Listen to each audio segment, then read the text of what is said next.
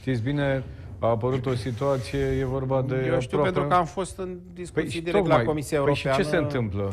Uh, Nu se întâmplă nimic. Uh, Singurul mesaj pe care l-am uh, primit uh, în legătură cu vaccinul este că uh, reprezentanții Comisiei Europene lucrează în interesul statelor membre, în sensul renegocierii acestor contracte. Deocamdată singurul lucru care s-a obținut este ca să existe o anumânare a livrărilor uh, până spre sfârșitul lunii septembrie pentru dozele care trebuiau să vină. Noi mai avem vaccinuri, iertați-mă că vă Uh, întreb Avem momentul. vreo 8 milioane jumătate. Cât? 8 milioane și jumătate. Care stau În depozite.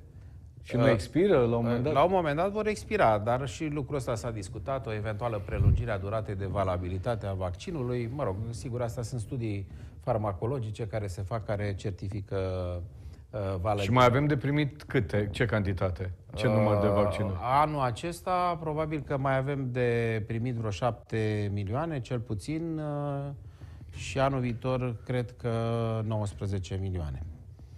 Păi- Uh, Păi și ce facem cu 30 de milioane de vaccinuri? Uh, sincer să fiu, nu știu. Am uh, fost uh, solidari și noi cu alte nouă țări din Uniunea Europeană. Am trimis o scrisoare, am semnat-o, am discutat-o la Luxemburg, nu la Bruxelles, uh, uh, cu reprezentanții Comisiei Europene. Cum vă spuneam, ei încearcă să facă efortul. Ne-a explicat că e vorba de un contract comercial în care există obligații contractuale. Nu l-am încheiat noi contractul, dar sigur noi în diverse etape am acceptat anumite cantități de Și am vaccin semnat și noi. anticipat, Da. anticipat